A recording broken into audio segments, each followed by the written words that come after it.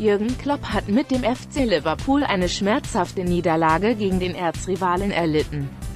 Die Mannschaft des deutschen Teammanagers verlor das Prestigeduell beim Tabellennachbarn Manchester United am Samstag 1 zu 2, 0 zu 2. Beide Tore für Man United erzielte Nationalstürmer Marcus Rashford, 14. 24.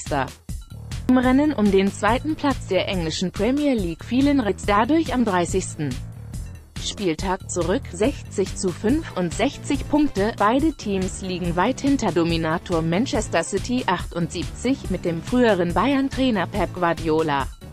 Wir müssen in solchen Situationen besser verteidigen, erklärte Liverpool-Trainer Klopp und ergänzte, die zwei Tore haben das Spiel nicht gerade leicht gemacht.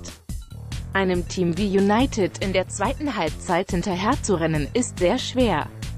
Letzten Endes zählt nur das Ergebnis und wir haben verloren. Man United-Coach José Mourinho war dagegen sehr angetan von der Leistung seiner Mannschaft, wir hatten ganze Zeit Kontrolle. Deswegen denke ich, dass wir fern gewonnen haben. Dennoch sprach der Portugiese den Reds eine starke zweite Halbzeit zu. Rashfords Doppelschlag war für Liverpool im Old Trafford ein Schock.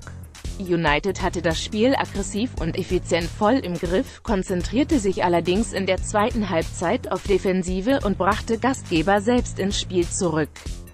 Abwehrspieler Eric Bailey, 66. unterlief ein kurioses Eigentor mit der Hacke, bei dem sich der Unglücksrabe auch noch verletzte.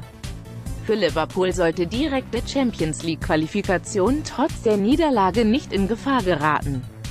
Am Dienstag waren Ritz gegen den FC Porto 5 zu 0, 0 zu 0 ins Viertelfinale der Königsklasse eingezogen.